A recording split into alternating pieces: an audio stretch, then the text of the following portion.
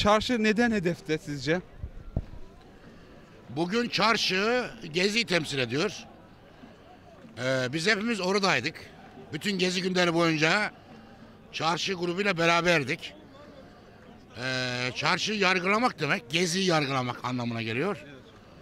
Gezi'de ne oldu? Gezi'de e, diktatörlük eğilimlerine giren e, bir siyasi lidere halk, halkın bir kesimi ihtar verdi. Böyle yapamazsın dedi. Buradaki ağaçları kesemezsin. Burayı AVM'ler ve rezidanslar dikemezsin. Burada eee parkı ortadan kaldıramazsın dedi. Buna halkın geniş kesimlerinden insanlar tepki gösterdi. Biz de gittik oraya katıldık. Tepki gösterdik. Şimdi bu burada bu bu itiraz, bu itirar burada yargılanmak isteniyor Gezi'nin şahsında. Biz de eee, hepimiz oradaydık. Biz Gezi'yi çarşı grubuyla beraber yaptık. Yargılayacaksanız hepimizi beraber yargılayın dedik. Buraya geldik. Şu anda içeride yargılanıyorlar. Salon çok dar gelmiş. E, 20 kişilik e, yer var. 80 tane sanık var.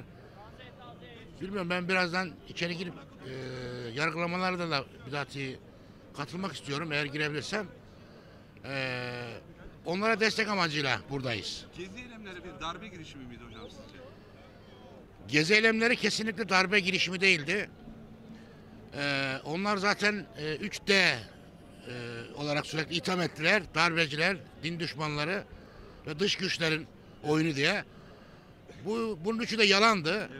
Büyük büyük yalanlar söylediler. Bunlar hep ortaya çıktı. Camide içki içiyor dediler. Kabataş'ta başörtülüyü süründürdüler dediler.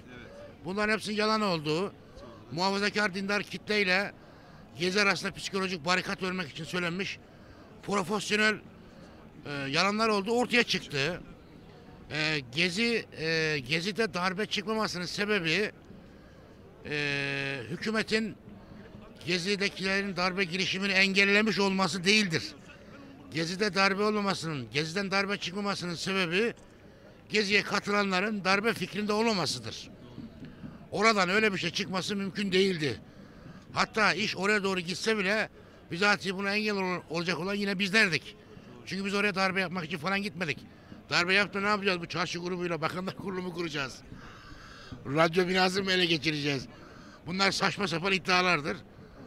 Sermaye Piyasası Kurulu tarafından yapılan açıklamada bizatihi hükümete rapor verdi.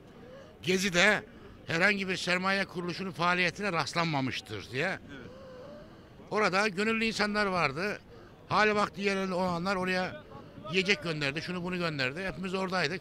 Sivil bir halk direnişiydi. Türkiye'de son yılların gördüğü en büyük halk direnişti.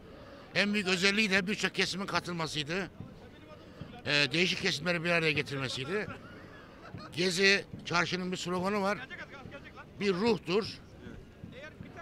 Ee, onu yargılamaya kalktığınız zaman o ruh gider bir yerde bedenini bulur. Ee, ne zaman böyle bir olay olsa yine geziye katılan herkes orada olacaktır. Bugün yine aynı birlikteliği görüyor musunuz? Evet bugün yine gördüğünüz gibi birçok kesim hemen hemen gezidekilerin çoğu buraya gelmiş vaziyette. Yani şöyle bir 3-5 saat daha geçse burası da hemen geziye dönüverecek. İşte halay çekenler, slogan atanlar, çeşit çeşit gruplar, çeşit çevreden insanlar. Ee, bugün e, gezinin şahsında, e, çarşının şahsında gezi yargılanıyor. Biz de buna hayır demek için buradayız.